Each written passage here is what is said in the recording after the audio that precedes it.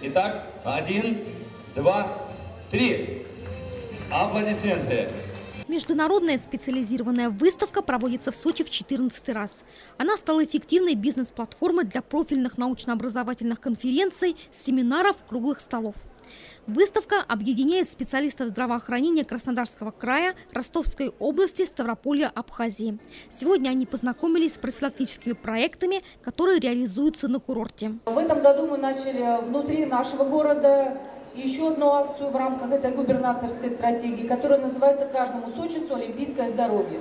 Поэтому от всего сердца, от имени всех сочинских медицинских работников а, мы приветствуем а, вас всех, которые представляют здоровье нации, здесь у нас здоровье России.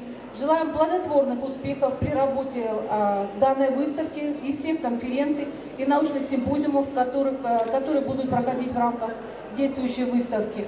И также одновременно поздравляем всех с прошедшим Днем медицинского работника. Медицинский форум всегда привлекает внимание руководителей сочинских здравниц, медицинских учреждений города. Также он интересен специалистам в области реабилитации, медицины спорта, лечебной физкультуры.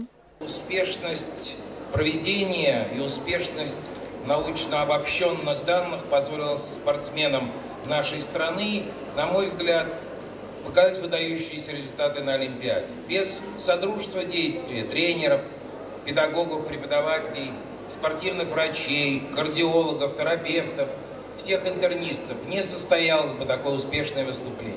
В рамках выставки пройдут заседания по актуальным вопросам медицинской практики. Будут представлены передовые технологии, а также оборудование и продукция ведущих компаний. Вот уже девятый раз в рамках медицинского форума проводится выставка «Спортивная индустрия». Форум здоровья России работает в новом выставочно-презентационном центре по адресу улица Несебрская, 11 до 21 июня. Елена Овсецина, Борис Осин, телекомпания «ФКТ».